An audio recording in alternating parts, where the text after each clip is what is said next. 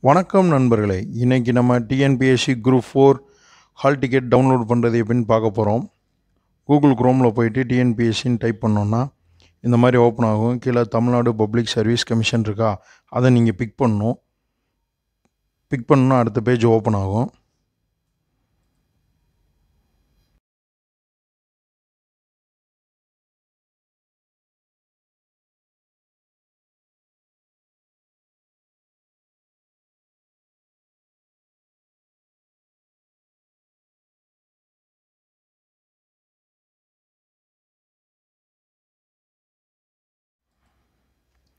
நிரந்தர பதிவு விவரங்களை பிக் பண்ணணும் இந்த பேஜில் பிக் பண்ணதும் அடுத்த ஒரு பேஜ் அப்படியே ஓப்பன் ஆகும். இதில் வந்து ஏற்கனவே பதிவு செய்தோர். அதை பிக் பண்ணும். அப்படியே உள்ளே போனதும் நம்ம யூசர் நேம் பாஸ்வேர்டு அப்புறம் அந்த கூட்டினா எவ்வளோ வருதுன்றதை அப்படியே போட்டு சமர்ப்பிக்க கொடுக்கணும்.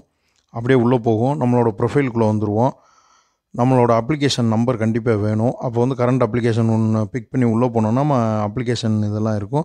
அதில் வந்து அந்த நம்பர் நம்ம காப்பி பண்ணி எடுத்துக்கிறணும் இல்லைன்னா நோட் பண்ணி வச்சுட்டு அப்படியே இதுலேருந்து வெளியே வந்துட்டு டவுன்லோட் ஹால் டிக்கெட் இருக்கா அதை பிக் பண்ணி உள்ளே போகணும். உள்ளே போய் அப்படியே இதை கொஞ்சம் ஸ்க்ரோல் பண்ணோன்னா ஹால் டிக்கெட் டவுன்லோடுன்னு இருக்கும். அந்த டவுன்லோடை பிக் பண்ணோன்னா அப்படியே இதில் வந்து நம்ம அப்ளிகேஷன் நம்பர் மேலே கொடுத்துட்டு நம்ம டேட் ஆஃப் பர்த் கொடுத்தோன்னா அப்படியே ஹால் டிக்கெட் ஓப்பன் ஆயிரும். அப்படியே நம்ம ஸ்க்ரோல் பண்ணி பார்த்துட்டு அப்படியே ப்ரிண்ட் அவுட் எடுத்துக்கிற வேண்டியதான் நம்ம மொபைல்லையே ஈஸியாக அழகாக ப்ரிண்ட் அவுட் எடுத்துடலாம்.